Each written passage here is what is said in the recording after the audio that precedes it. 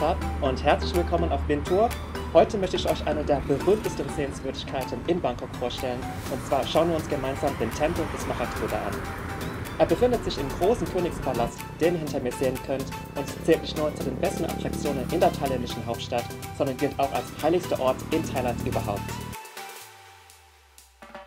Der Tempel des Mahatbuddha bzw. Wat Phra wurde vor ca. 240 Jahren als Teil des Königspalastes erbaut. Jeden Tag zieht es tausende Besucher aus aller Welt hierher. Das ist auch kein Wunder. Der Palasttempel ist nicht nur Sitz der meistverehrten Buddha-Statue Thailands, sondern bietet auch eine außergewöhnliche Architektur und fabelhafte Wesen, die auch einen Besuch zu einem ganz besonderen Erlebnis machen.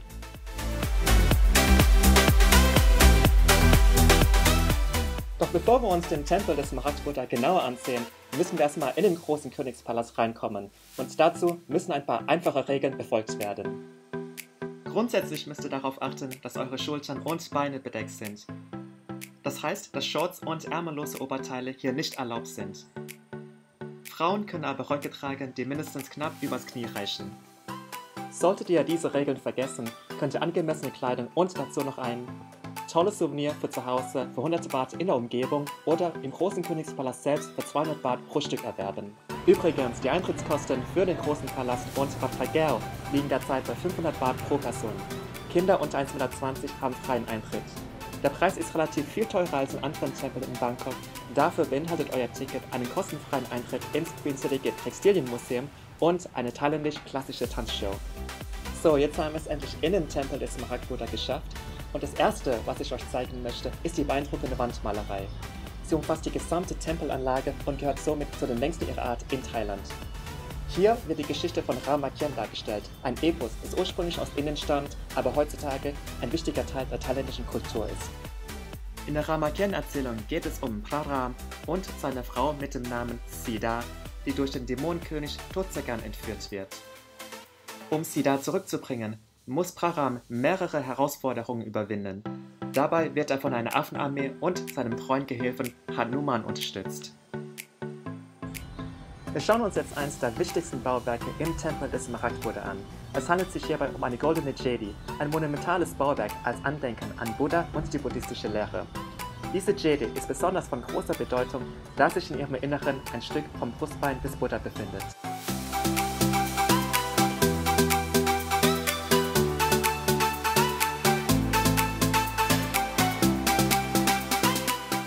Wir kommen nun an der Hauptkapelle an, wo sich der Smaragd-Buddha befindet. Der Smaragd-Buddha ist der heiligste und eine der ältesten Buddha-Statuen in ganz Thailand. Wann und durch wen sie kreiert wurde, bleibt noch bis heute ein Rätsel. Wir können den Ursprung zumindest bis ins 15. Jahrhundert zurückverfolgen.